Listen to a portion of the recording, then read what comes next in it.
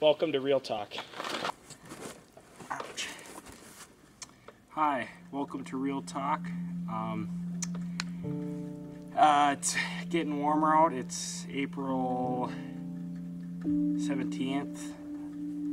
Um, we're out here, Minnesota skiing. Been a good spring. Uh, could possibly be my last day skiing in my backyard.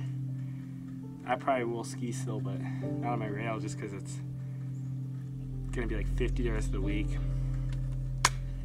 But uh, it's been a wonderful season, except for a few of my friends got injured.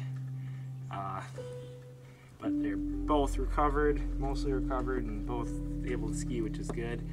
Um, yeah, it's been a wonderful season. Thanks to all my friends who help and hype me up to like do tricks and stuff. So I couldn't ski without you guys. That sounds really weird, but it wouldn't be fun basically if I didn't have people to ski with. So yeah, I'm gonna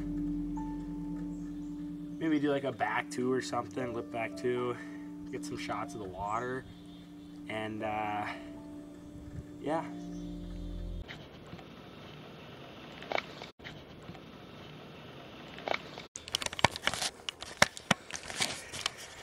So now I'm gonna go do some tom turns. Let's do this.